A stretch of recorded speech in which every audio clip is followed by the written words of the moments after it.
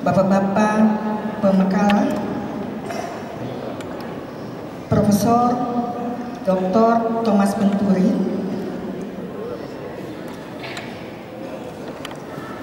Bapak Kusnadi Kardi, dan Bapak Karel Albert Ralahalu, Ibu Bapak peserta Kongres yang saya hormati, selamat siang. Assalamualaikum warahmatullahi wabarakatuh. Salam sejahtera bagi kita semua. Kita akan memasuki sesi yang kedua, Ibu Bapak, dengan tiga pemateri yang mana sesuai dengan jadwal bahwa pada sesi yang kedua ini akan dibawakan oleh empat pemateri. Kebetulan dua pemateri berhalangan hadir sehingga untuk sesi yang kedua ini ditambahkan dengan pemakalah dari sesi yang ketiga yang termasuk dalam topik bidang kebudayaan yang akan dibawakan oleh Bapak Karel Albert Ralahalu. Ibu Bapak sebelum pemakalah mempresentasikan materinya, saya akan memperkenalkan dulu kepada Ibu Bapak masing-masing Bapak-Bapak pemakalah. Yang pertama, Bapak Karel Albert Ralahalu. Tidak asing lagi bagi kita orang Maluku. Bapak Karel mantan Gubernur Maluku periode 2003-2008, 2008-2013. Beliau memangku jabatan gubernur selama dua periode, membangun Maluku selama 10 tahun.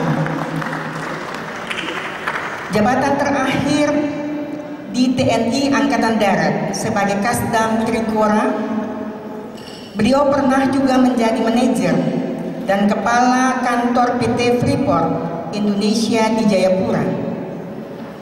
Beliau meraih gelar sebagai doktor honoris causa dalam bidang manajemen dari Western Kennedy University.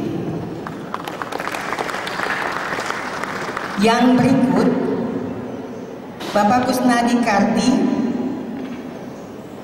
Beliau Rektor Universitas Pembangunan Nasional Jakarta. Beliau menempuh studi S2 Manajemen Sains Naval Postgraduate School USA tahun 1990. Beliau juga menempuh S2 International Studies Royal College Defense Studies London 1998 dan beliau menempuh Doktor Fisip pada Universitas Indonesia Program Sosiologi Militer. Ibu Bapak, jabatan yang terakhir beliau adalah Komandan Sesko TNI Bandung, Kepala Bidang Diklat Departemen Pertahanan Republik Indonesia, dan pangkat yang terakhir adalah Marsikal Muda TNI Purnawirawan.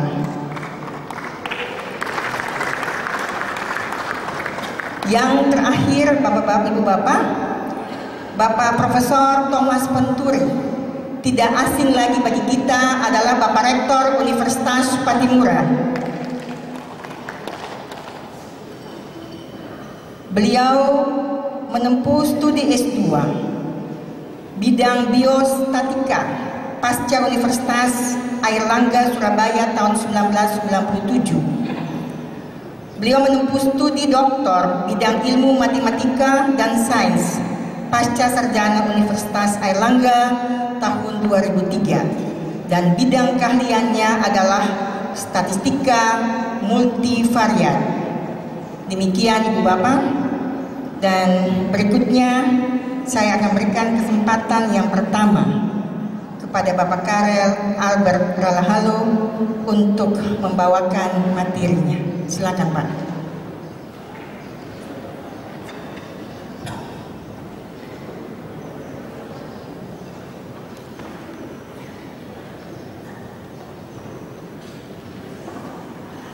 Assalamualaikum warahmatullahi wabarakatuh.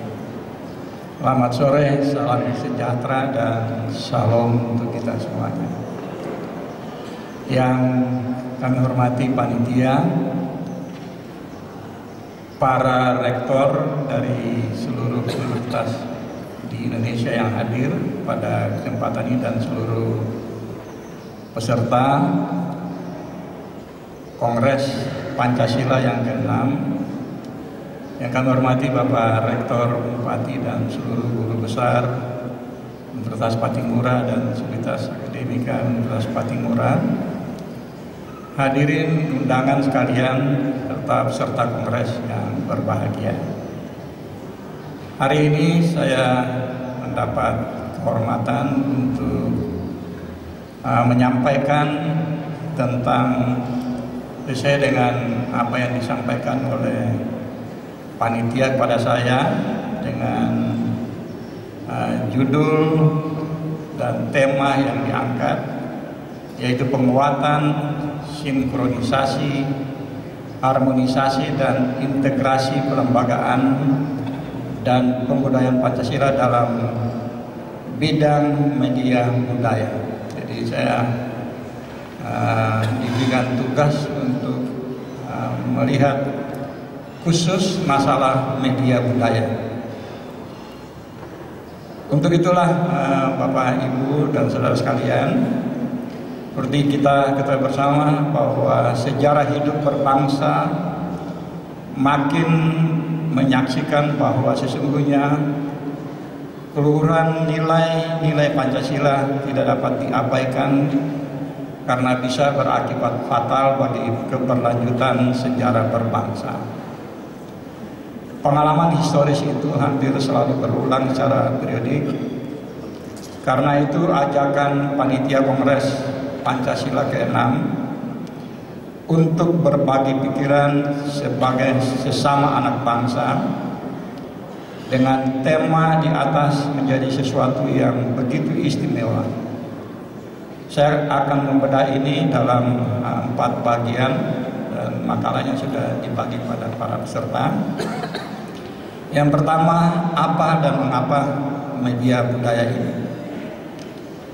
Tema pembahasan penguatan sinkronisasi, harmonisasi, dan integrasi pelembagaan serta pembudayaan Pancasila dalam bidang media budaya bukan sekedar hal yang teknis atau sederhana karena mengandung argumen yang pokok bahwa Pancasila adalah realitas yang kuat berakar di dalam keberadaan budaya Nusantara.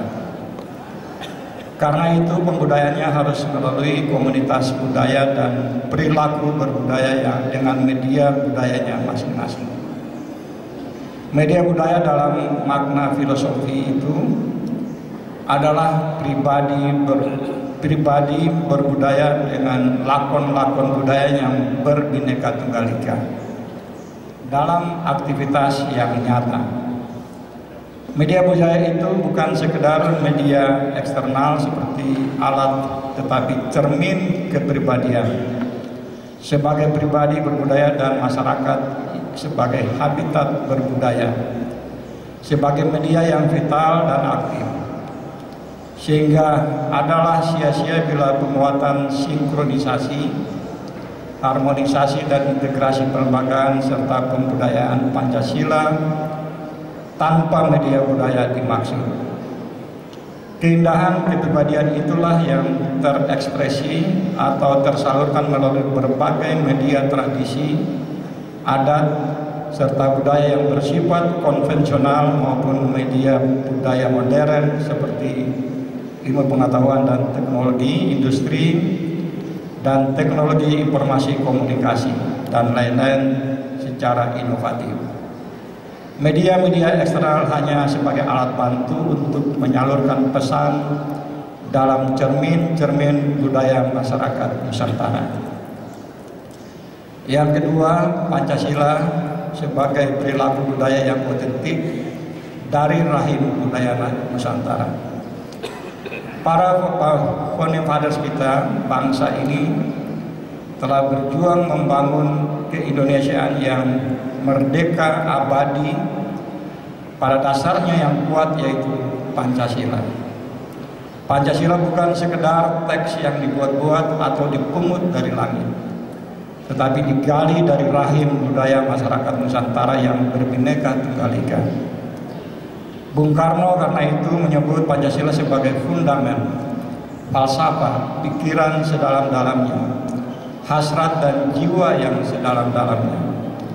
Karena Pancasila merupakan wujud pikiran, hasrat, dan jiwa yang sedalam-dalamnya yang tertata dalam sebuah pandangan dunia yang digali yang sedalam-dalamnya yang tertata dalam sebuah ulangi pandangan dunia yang digali dari rahim budaya yang asli maka pasti ia akan selalu berada dalam hati jiwa, pikiran, keyakinan dan strategi kehidupan serta perilaku budaya yang otentik dari masyarakat Nusantara. Keberadaan Pancasila bukan seperti pakaian yang pakai lepas tetapi menjadi ciri keaslian yang berakar pada budaya dan martabat bangsa sehingga selalu bersifat niscaya kecuali generasi bangsa ini sudah tidak memiliki lagi rasa budaya. Nilai-nilai budaya itulah yang membuat seluruh masyarakat Nusantara yang berbineka merasa terhina martabatnya. Di tangan penjajah sehingga memunculkan sebuah semangat kolektif yang berkobar dalam dadanya masing-masing untuk mau berjuang bergotong royong bersama Bung Karno dan rekan-rekannya dalam sebuah gerakan revolusi untuk mengusir imperialisme dari bumi ini dan merebut kembali kemuliaan peradabannya dalam sebuah kemerdekaan berbangsa dan bernegara yang abadi. Heroisme perjuangan yang didasarkan pada rasa budaya dan martabat diri itu menjadi basis pertalian temalian yang kuat merangkul dan menghimpun mereka secara lintas suku, agama, dan golongan. Nilai luhur Pancasila terinternalisasi sebagai karakter dan tabiat saleh yang dijunjung tinggi Perilaku itu kemudian disepakati menjadi perilaku berbangsa secara resmi yang diatur oleh perangkat ideologi, politik, hukum secara hierarkis. Perilaku titik bangsa itu menyemangati dan memotivasi seluruh komponen bangsa dan generasi anak bangsa sehingga menjadi sebuah gerakan nasional yang padu sebagai simfoni yang indah di mana semua komponen bangsa memegang alat dan memainkan peran dalam gerak perilaku budaya bangsa yang teratur, terirama, mengikuti komando dirjanya Bung Karno. Karena itu tidak memiliki pilihan lain untuk menjadi dasar bangunan Indonesia yang merdeka abadi kecuali Pancasila. Setiap upaya yang memisahkan bangsa ini dari Pancasila akan memberi dampak sistemik yang sangat membahayakan bangsa. Mengabaikan Pancasila berarti menggoyahkan tatanan dasar, hasrat, pikiran, jiwa, keyakinan bangsa yang sedalam-dalamnya. Hal inilah yang makin kita alami, di mana realitas masyarakat bangsa dewasa ini perlu dan pun makin terjebak dalam konflik, korupsi, narkoba, seks bebas, perdagangan manusia, dan lain-lain.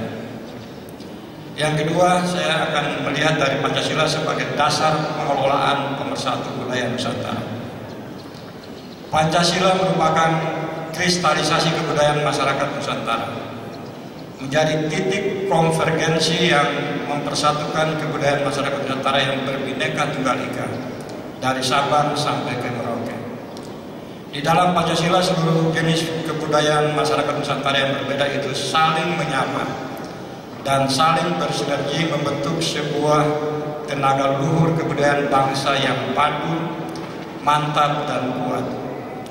Di dalam Pancasila maka kebudayaan masyarakat Nusantara yang berbeda-beda, baik yang didukung oleh pendukung budaya yang banyak dan kebudayaan masyarakat pulau-pulau kecil yang didukung oleh komunitas budayanya yang kecil-kecil dan saling tersegregasi. Di dalam Pancasila selalu terbangun kesadaran bahwa semua kebudayaan masyarakat Nusantara yang polietnik dan multikultur itu memiliki hak hidup yang sama, tanpa saling mendeterminasi dan tanpa sikap saling menalukan atau saling menjatuhkan. Sehingga tidak ada sebuah budaya dominan di dalam klaim budaya Nusantara. Karena semuanya memiliki hak kultural dan hak eksistensi yang sama di dalam Pancasila. Di dalam Pancasila maka akan selalu tercipta sebuah kebangkitan dan pertumbuhan bersama dari budaya-budaya masyarakat Nusantara yang berbineka. Semua jenis kebudayaan masyarakat yang berbeda itu terfasilitasi secara adil dan merata untuk mengakselerasi dunia global dengan segala dinamikanya. Dalam Pancasila, maka masyarakat Nusantara yang berbeda tunggal ika ini berhasil mengubah pola pikiran dari sebuah ciri masyarakat tradisional yang tertutup dan represif menjadi masyarakat progresif dalam suasana keterbukaan dan gotong royong. Fakta sejarah dan budaya Indonesia memberitahukan bahwa kesepakatan kecakapan saling merangkul di antara kebudayaan masyarakat Nusantara yang berbeda. Misalnya masyarakat kepulauan yang hidup tersegregasi di dalam wilayah kepulauannya itu saling berangkulan dengan nilai budayanya yang menjunjung ketuhanan, kemanusiaan, persatuan kerakyatan, dan berkeadilan sehingga pengelolaan kebudayaan bangsa berasa Pancasila akan memberi energi pertumbuhan dalam spirit kebersamaan untuk menghidupkan dan membesarkan. Yang ketiga, peran medium budaya dalam upaya pembudayaan Pancasila. Budaya adalah simbol atau sistem tanda yang hidup dan berkembang di dalam ruang sejarah sosial, politik, ekonomi, dan lain-lain yang penuh isi. Nilai-nilai budaya Nusantara di dalam Pancasila itu adalah ibu yang selalu hadir dan mendekat di dalam realitas. Sebagai ibu budaya bisa menjadi penang berpilih untuk memutar jentera kehidupan. Pembudayaan Pancasila dengan medium budaya Nusantara ini tidak hanya berpusat pada medium-medium budaya yang konvensional, seperti tradisi layar, cerita, cerita layar, atau dongeng. Kalau di Maluku dikenal dengan tari panah cengke, panah stela, wayang, ketoprak, tari seka, tapi juga menuju budaya populer seperti email sekarang, Facebook, Twitter, dan lain sebagainya. Kemudian Pancasila dalam bentuk budaya akan sebuah dampak pertumbuhan yang besar bagi bangsa. Misalnya kemudian Pancasila dengan medium budaya orang saudara di Maluku akan memberi sebuah pembelajaran bahwa masyarakat kepulauan Maluku yang berbudaya masyarakat kepulauan yang beraneka ragam itu telah memiliki sebuah kecakapan dialektis untuk merangkai dan membangun kebersamaan sebagai sebuah masyarakat orang bersaudara dalam sebuah konsep diri budaya orang bersaudara. Sehingga Kepulauan Maluku yang terdiri dari 1436 buah pulau yang bertebaran dalam bentangan laut kepulauan yang luas itu menjadi sebuah rumah eksistensi orang bersaudara. Jadi budaya orang bersaudara telah menanamkan nilai-nilai bineka tunggal ika yang kuat dalam diri masyarakat Kepulauan Maluku jauh sebelum munculnya gerakan-gerakan kemerdekaan bangsa. Karena mereka secara historis kultural telah menjadi sebuah komunitas orang saudara yang lintas pulau yang tunggal Bagi orang Maluku, orang saudara adalah konsep diri bersama yang tunggal Dengan berjuta rasa perbedaan bahasa, bahan makanan, dan tradisi budaya untuk saling memperkaya. Di dalam orang saudara ada ketong semua, ketong semua bahasa Maluku, berarti kami semua yang berlatar belakang agama yang berbeda, bahasa yang berbeda, tradisi yang berbeda, dan makanan favorit yang berbeda dan sebagainya. Semuanya berpadu di dalam orang saudara.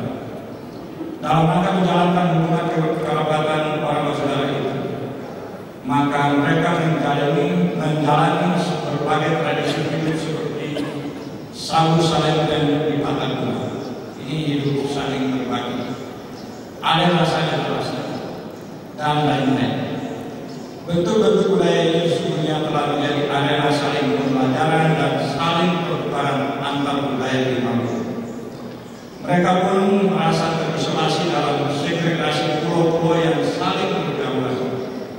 Namun mereka menciptakan sosialitasnya yang cair dalam tradisi hidup orang masyarakat.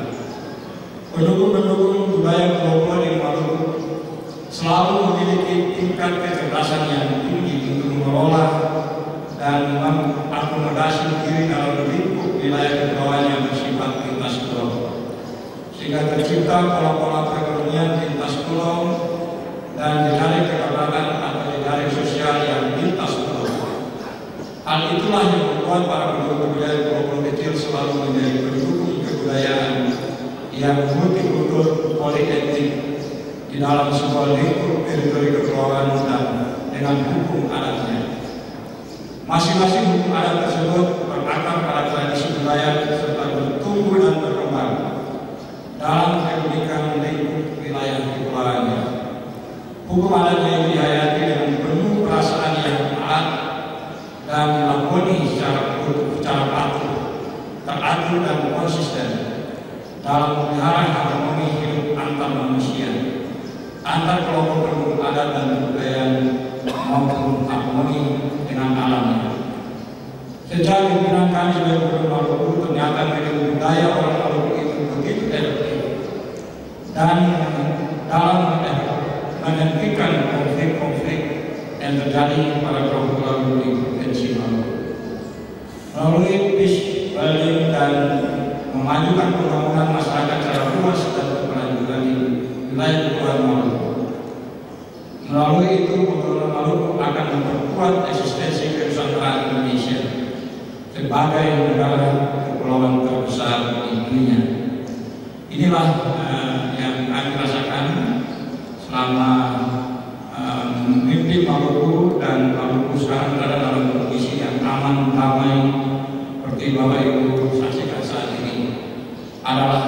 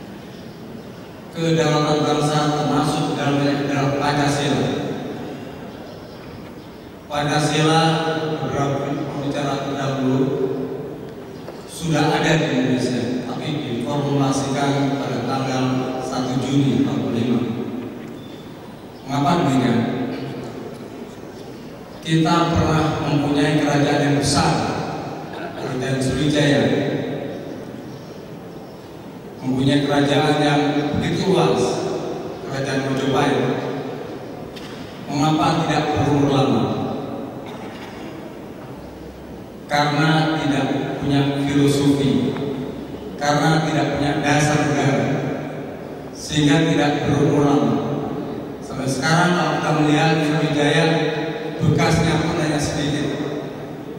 Kalau kita melihat Mojopahit, cari-carinya sudah tenggelam, mulai digali lagi. Apakah kita akan menjadi bangsa yang pernah jaya? Apakah kita, kita akan rela negara Indonesia pernah menjadi NKRI yang luas? Kalau kita melupakan dasar negara, kita melupakan filosofi bangsa, itu akan berulang. Oleh, oleh karena itu, sejak reformasi tahun 98, kita mengadakan perubahan. Tapi sayangnya dasar negara, filosofi bangsa tenggelam. Kita menyadari bahwa Pancasila ada sudah lama di Indonesia. Bangsa Indonesia terlahir dari perbedaan. Ribuan pulau telah membedakan kita di antara bangsa, suku bangsa, agama, budaya, itu menjadi potensi konflik terbesar di dunia. Dan pernah kita melupakan Pancasila. Akhirnya tahun setelah tahun 98 terjadi konflik di Kalimantan, terjadi konflik bahkan di Ambon, di Poso, karena untuk mempererat tali persaudaraan BNK sudah tidak ada. Oleh karena itu kita harus sadar bahwa Pancasila itu harus diangkat kembali. Itu adalah alat nomor satu. Kebenekaan itu ada karena ada Pancasila. Tidak terjadi perbedaan agama karena hanya ketuhanan yang bersatukan. Sekarang terjadi perbedaan karena agama. Yang sangat ironis satu agama ya, itu bisa diserap oleh kelompok kepercayaan agama saat hanya satu agama. Sangat ironis kelompok Ahmadiyah asli Indonesia tapi tidak nyaman hidup ya, karena diusir. Kita ambil contoh seperti Madura. Kemudian istilah keamanan nasional itu di seluruh dunia ada keamanan nasional. Saya waktu aktif Kementerian ikut membuat kerangka RUU dari tahun 2004 sampai sekarang 2014 tidak juga muncul. Ditolak oleh anggota DPR tapi yang sangat ironis pemerintah ambil kebijakan tidak yakin ada yang keamanan nasional dan di seluruh dunia itulah yang membuat cita-cita negara bisa diwujudkan kalau ada keamanan nasional. Ya, sangat ironis.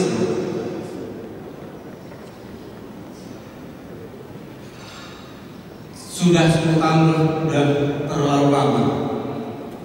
Sehingga kita perlu reorientasi dalam rangka mendalami reformasi. Adakah yang salah adakah yang perlu diangkat tapi pada kenyataannya reformasi sejak tahun 98 sekarang banyak merupakan hal-hal yang menjadi kekasan bangsa Indonesia kedaulatan bangsa termasuk juga kedaulatan negara. Kedaulatan negara ada terdiri dari kedaulatan daratan, lautan, dan udara. Barangkali kita biasa berpikir tanah air, tanah dan air. Udaranya nggak ada. Beda di atas daratan, di atas perairan itu udara. Akibatnya sekarang ada International Airport termasuk di Ambon sebanyak 27 di seluruh Indonesia tapi tak kalah di negara kecil penduduknya hanya sepertiga kota Jakarta luasnya tidak lebih dari Pulau Bintang itu menguasai di atas kepulauan Riau. Dampaknya dia mendapatkan profit ekonomi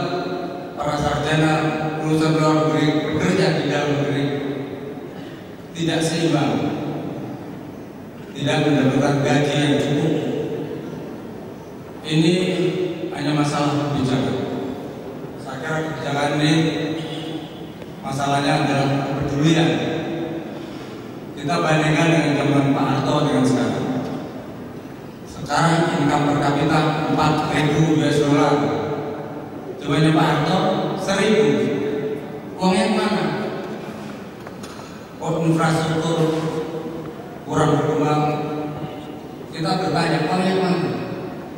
Kalau kita lihat di Singapura, gedung-gedung yang bagus, rumah yang bagus, itu 60 persen punya orang Indonesia. Mall-mall Singapura berdiri di Jakarta, berdiri di Bandung, di Surabaya. Kita hanya menjual sumber daya alam. Mas timah, tembaga kurang tidak dikelola oleh bangsa Indonesia. Top manager kita tergantung dari luar ini yang harus didobrak ya. sehingga Pancasila itu memberikan jiwa pada kalangan nasional. Dan kalangan nasional adalah suatu kondisi prerequisite untuk mencapai tujuan Bapak Ibu sekalian, saya akan menyampaikan apa yang disebut dengan nasional. Kalau kita mampu mewujudkan kami nasional dan kita mampu mewujudkan mampu menjaga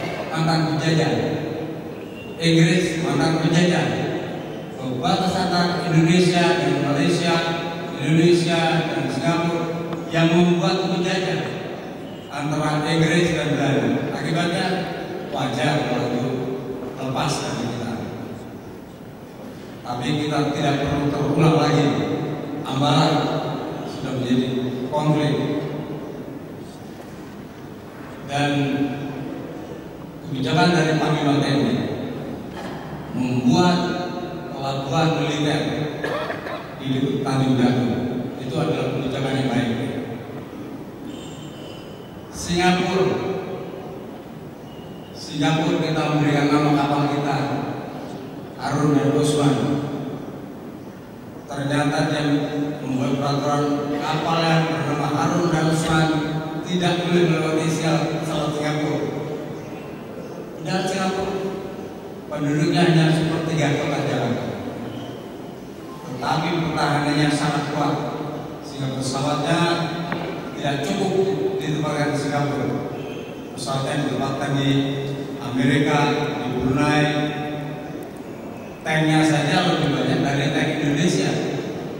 Akibatnya berani dengan Indonesia yang penduduknya sangat besar, sangat banyak. Jadi masalah pertahanan itu dilupakan jadi kalau kita umumnya masalah kita bicara masalah ekonomi, masalah politik, pertahanan dilupakan. Sudah tiga kekuatan inti, ekonomi, politik, dan pertahanan bersinergi menjadi satu. Nah sekarang di tempat kita dengan adanya Pancasila kita sudah mengenal Ipolexot Mil atau Ipolexot pertahanan itu ditambah dua lagi. Ideologi Pancasila. Ditambah lagi dengan sosial budaya dan militer harus masuk dalam lingkup kekuatan nasional. Jadi jangan ekonomi berdiri sendiri politik berdiri sendiri pertahanan berdiri sendiri. Akibatnya kita tidak menjadi negara solid politik sekarang menjadi super. Akibatnya politik itu didukung ekonomi politik itu didukung uang. Siapa yang ingin menjadi pejabat? Siapa yang ingin menjadi anggota DPR permainannya bukan masalah kepandaian tapi masalah uang. Profesor Dr. Salim Said itu pakar dalam politik tapi saya pernah bicara sama beliau. Pak saya kira Bapak bisa jadi anggota DPR lalu ahli di bidang politik karena nggak punya uang. Coba bicara sama rakyat yang orang tuanya banyak uang, masuk dia bisa di spanduk, bisa jadi anggota komisi satu DPR. Pengetahuan apa yang dia dapatkan? Hanya masalah uang. Sehingga saya bisa menyampaikan bahwa anggota legislatif barangkali punya uang kaya tapi pengetahuannya kurang. Apa kita akan rela? Masa depan kita undang-undang kita yang dibuat oleh anggota DPR yang kurang mampu mendalami masalah-masalah yang tinggi Bapak sekalian tadi yang saya sampaikan adalah berkaitan dengan masalah militer power tidak ada angkatan bersenjata yang tidak kuat kemudian mampu mampu menjadi diterpon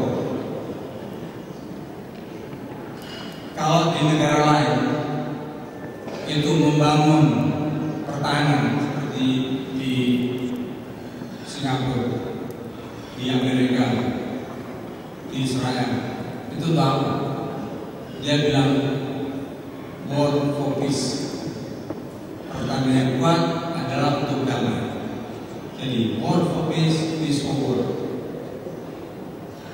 kita mencari seribu uang.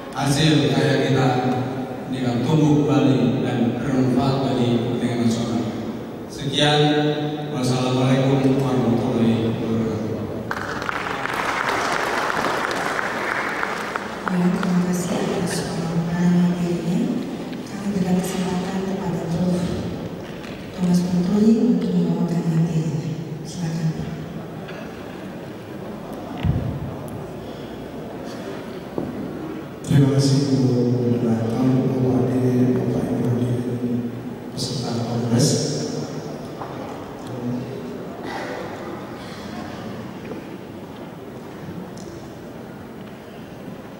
Kesempatan ini saya diberi kepercayaan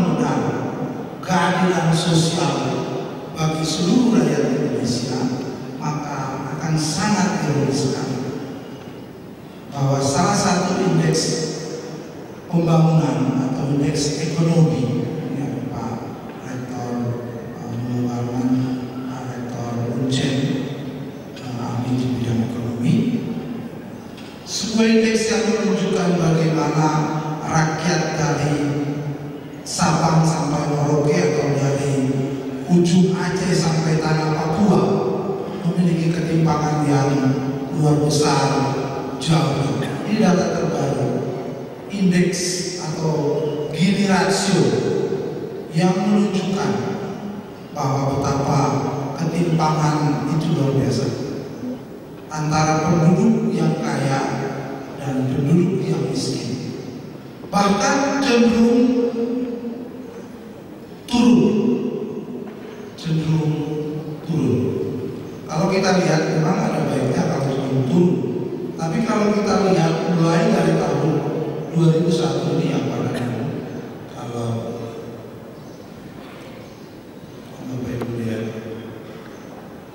ini ya. indeksnya kurang lebih 0,41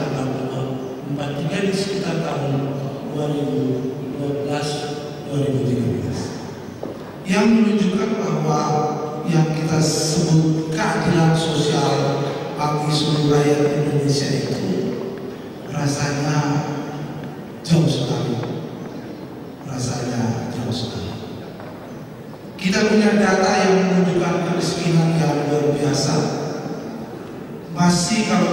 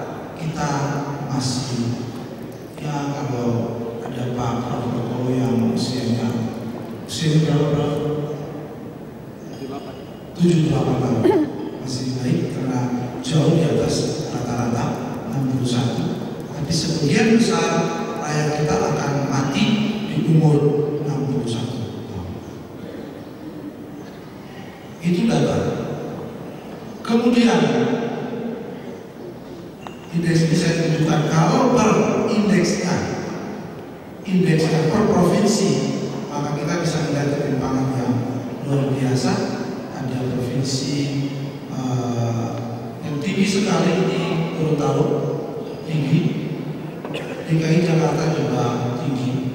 Ada Banten, kemudian ada Bali. Yang lain ada Sulawesi Barat, kemudian ada NTT dan beberapa provinsi lain yang menunjukkan ketimpangan yang luar biasa. Ada indeks lain yaitu indeks entropi T yang menunjukkan luar biasa ketimpangan antar provinsi. Luar biasa berbicara tentang keadilan sosial bagi seluruh di Indonesia saya kira kita masih jauh dari itu.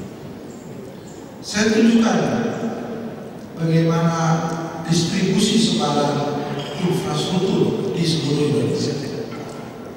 Begitu timpang luar biasa ada daerah yang luar biasa daerah Jakarta daerah Jawa Timur Jawa Barat Jawa Tengah dan beberapa di Sumatera Selatan yang memang kaya dengan infrastruktur. Selebihnya adalah daerah-daerah yang miskin infrastruktur. Ini sedikit data tentang realisasi investasi penanaman modal. Artinya kalau kita tidak punya infrastruktur yang cukup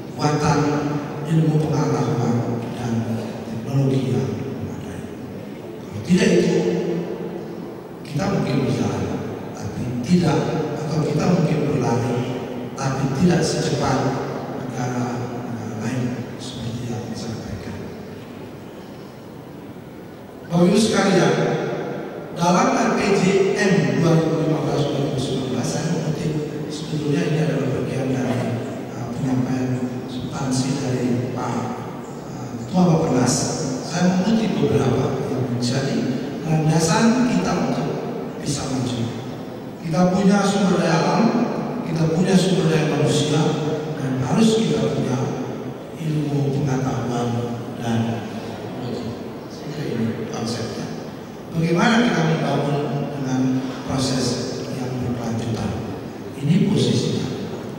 bisa berdaya saing secara inklusif, berkelanjutan, tapi juga berkeadilan. Kita punya tantangan yang luar biasa, punya kendala, dan ada yang memang menjadi perhatian pemerintah.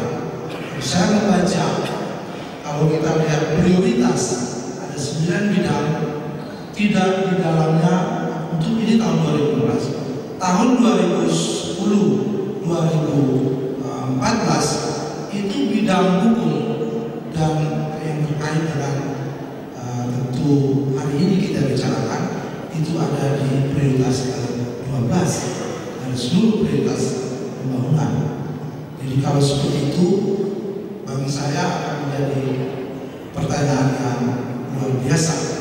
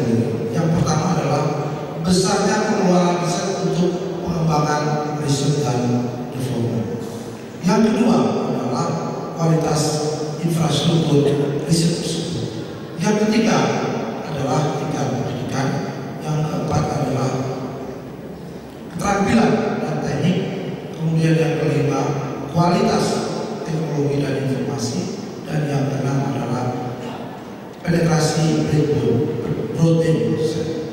Jadi ada data yang saya punya yang menunjukkan ketimpangan yang luar biasa dari enam aspek ini di seluruh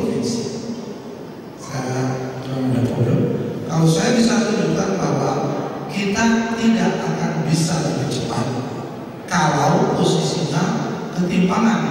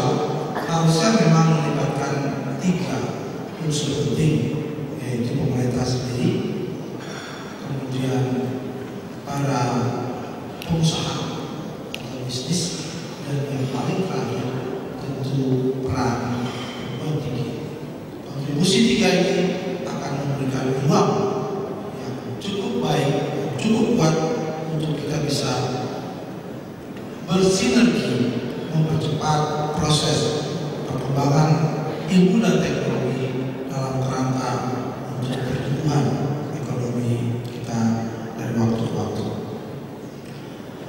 Yang terakhir yang saya sampaikan bahwa memang tujuan dari pembangunan itu sendiri adalah untuk mensejahterakan bangsa, tapi tidak sekedar itu, tapi memberikan sebuah posisi bangsa yang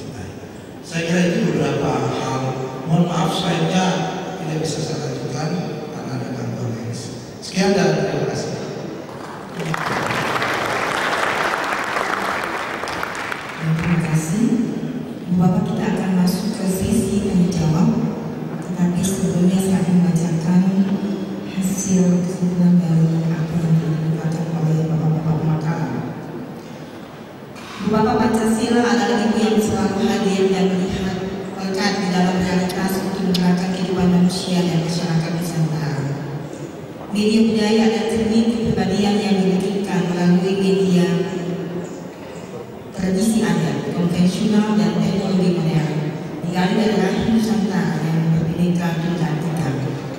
Nilai-nilai Pancasila sudah ada dalam budaya Maluku seperti pelagatung, air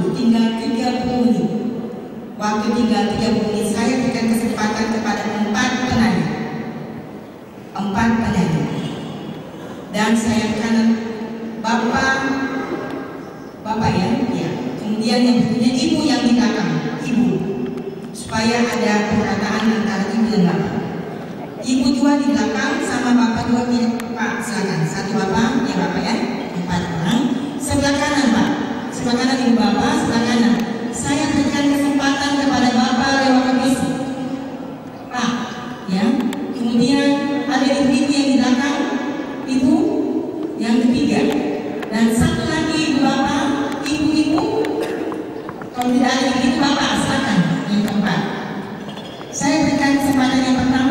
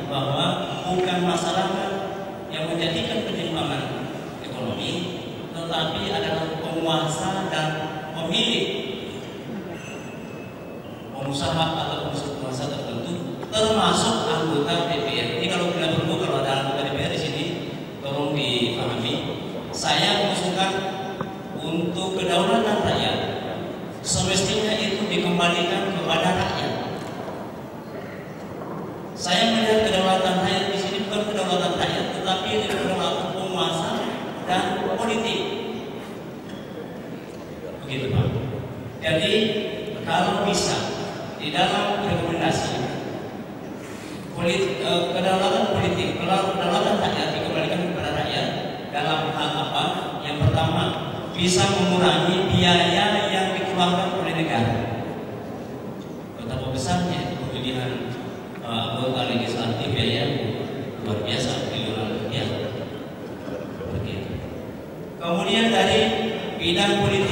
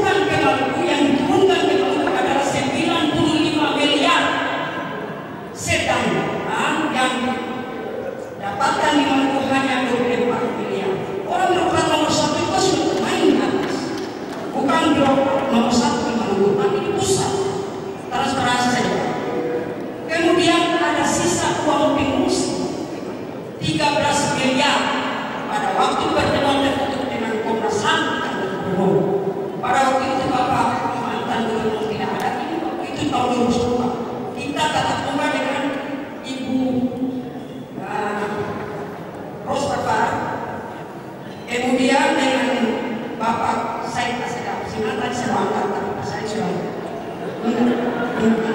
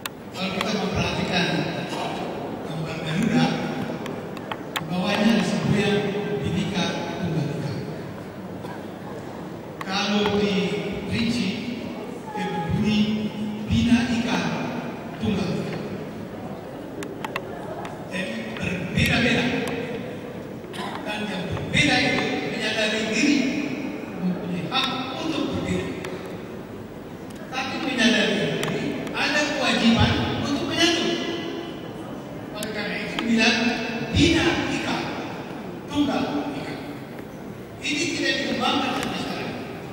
Sekarang yang berkembang pluralisme.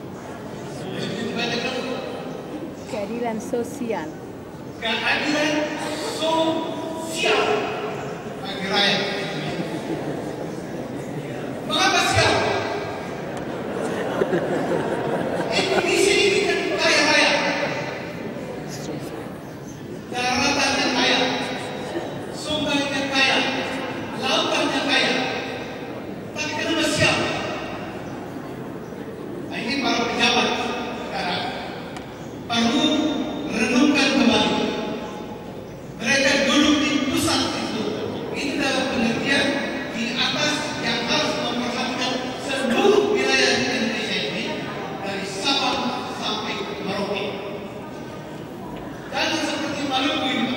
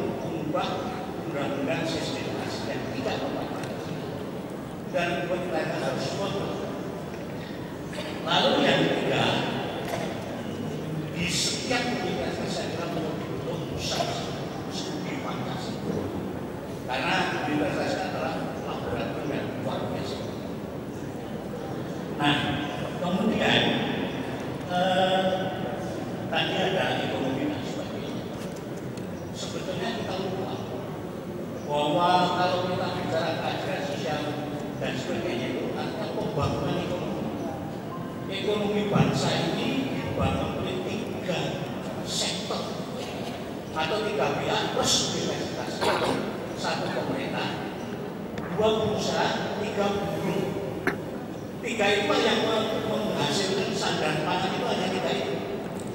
Terus pemerintah dengan pengusaha buruh bersatu plus universitas merencanakan bagaimana produksi yang kita buat produktivitas mana yang akan kita lakukan. Dengan demikian maka sandang pangan akan menang.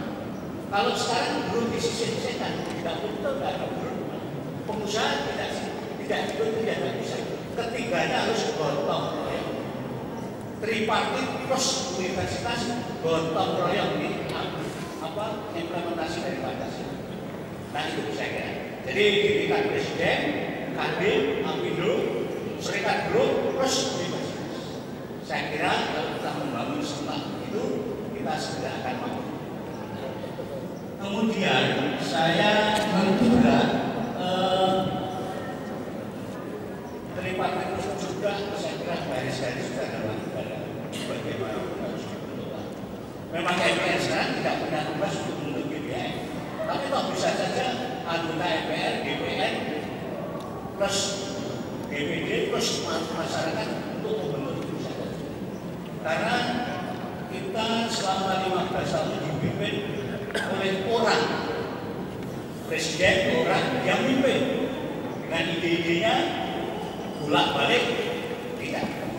Tapi kalau kita dibikin oleh satu rencana garis-garis secara luar negara yang bisa pasti pemerintah itu adalah eksekutif tinggal melaksanakan rencana jadi kita diberi rencana negaranya selamat karena tahun pertama begini apa jangka pendek begini sudah sudah sudah sudah itu lalu kemudian eh, ya yang baik juga soal tadi adalah karena disinggung tentang takwilan saya kira kita rekomendasi.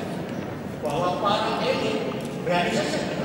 Para elit supaya memperhatikan dan melaksanakan keputusan MK untuk tidak menggunakan takwilan itu saya kira keras karena kita ini adalah jelas yang di sini Pancasila dasar negara dan dan sebagainya.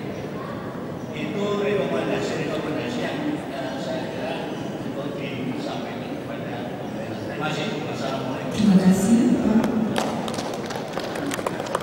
Ibu Bapak saya mohon maaf karena memang mengingat waktu. Ada sisi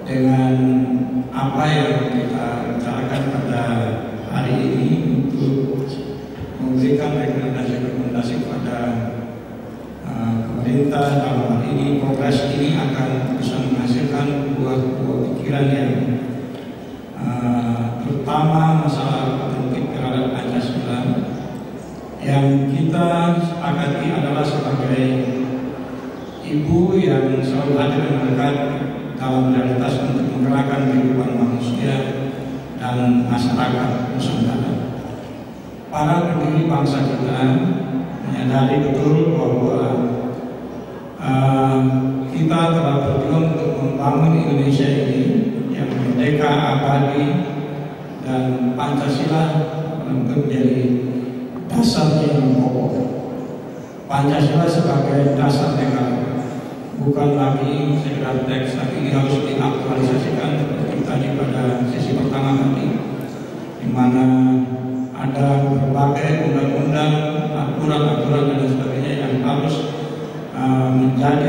yang kita sehingga harus didasari pada Pancasila sehingga akan memberikan uh, nilai-nilai yang sebagai uh, dasar negara. Untuk itulah maka para dasar-dasar yang sudah ditetapkan sebagai Pancasila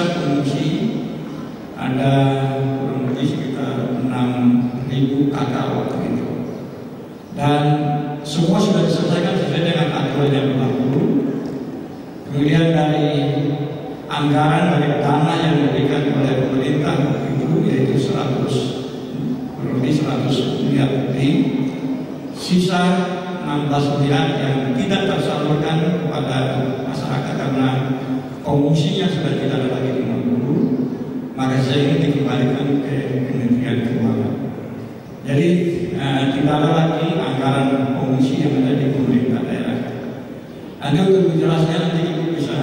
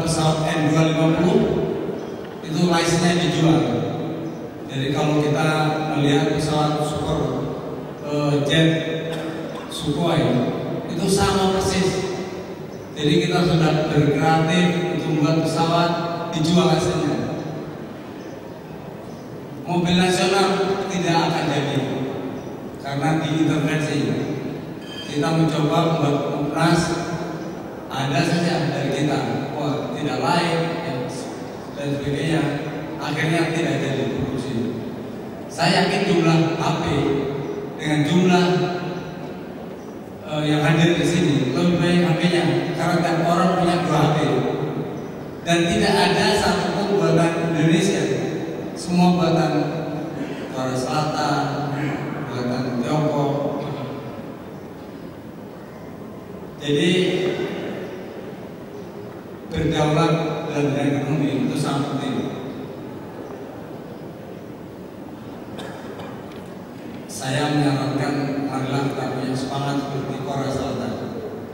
Korea Selatan itu tidak boleh membuat, tidak boleh memakai barang buatan luar. Semua buatan Korea Selatan. Sehingga dibaca sekarang produk-produk seperti lift, eskalator, traktor, semua buatan Korea Selatan. AP Samsung Korea Selatan. Ya. restoran di Jakarta banyak Korea Selatan. Jadi kita itu menjadi negara konsumtif. Sarapkan dengan yang kongres ini kita kembali kepada jadi diri bangsa kembali kepada martabat bangsa yang penting karena semua ada di kita. Hanya masalah masalahnya adalah semangat untuk mandiri itu masih harus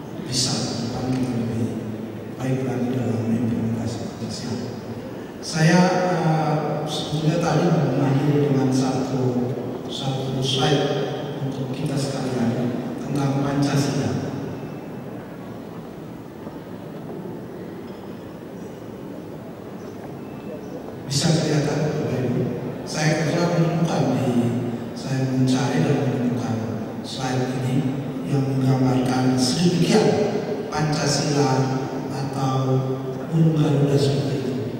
Jadi dokternya berharap uh, burung Garuda ini baik-baik saja. Jadi kalau nama pasiennya itu Garuda Pancasila, penyakitnya kalau di rumah sakit ada pasien belakang di depan itu ditulis identitasnya. Jadi nama pasiennya itu Garuda